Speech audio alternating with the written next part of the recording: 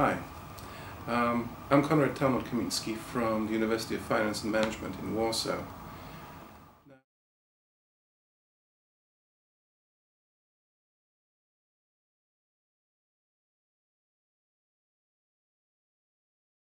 Now, I think the science and religion dialogue is a particularly difficult one because of a particularity of human belief systems, sorry, religious belief systems rather, human belief systems, in particular religious belief systems in this case. The thing being that the function of religious beliefs is unusual in that it is not tied to their truth value. Which means that it doesn't make sense to select religious beliefs on the basis of their truth. Which in turn means uh, that they, these belief systems have to be protected in some fashion against potential counter-evidence. Now the thing is that if you're having a dialogue,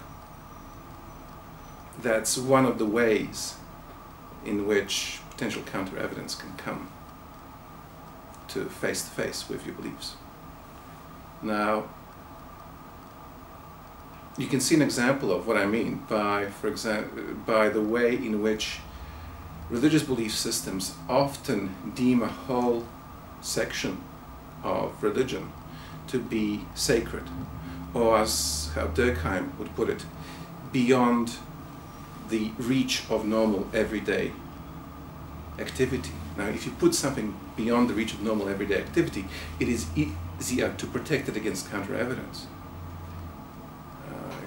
take an example of the sacred, the uh, Shroud of Turin was so sacred that it couldn't be investigated. You couldn't take samples from it until it wasn't. And the samples were uh, dated using carbon dating te uh, technology.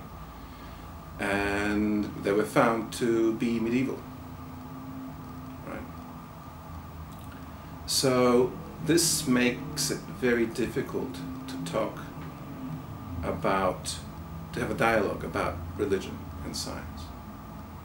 Now, what can philosophers bring to this? Well, I don't think philosophers have any particular insights into the debate. Uh, but they do have skills, particular sets of skills that I think are quite useful.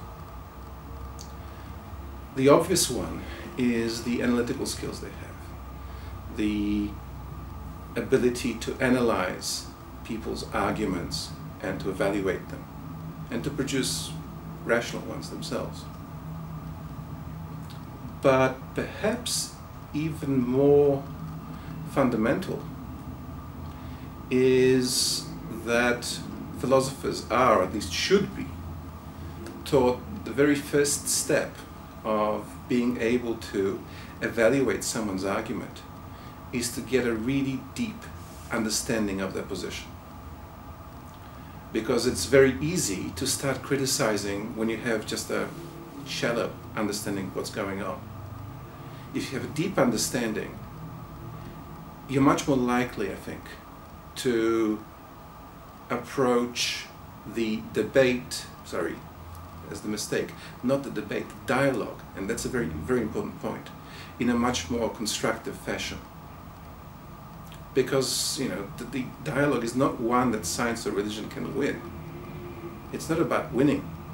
It's about finding ways to reconcile these different commitments. And I hope philosophy can help with that.